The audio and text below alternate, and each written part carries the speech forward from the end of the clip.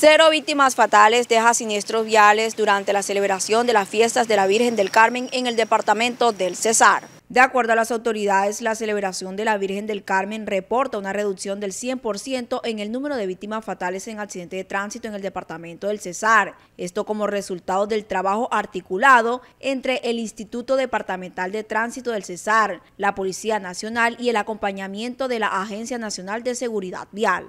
Sí, cero. Gracias a Dios, pues podemos dar un parte de satisfacción de que cero, eh, cero siniestralidad fatal durante este fin de semana. Sin embargo, se reportan bastantes lesionados por vías eh, tanto rurales como urbanas y seguimos motivando a las personas a que seamos prudentes en la vía más que todo con la velocidad.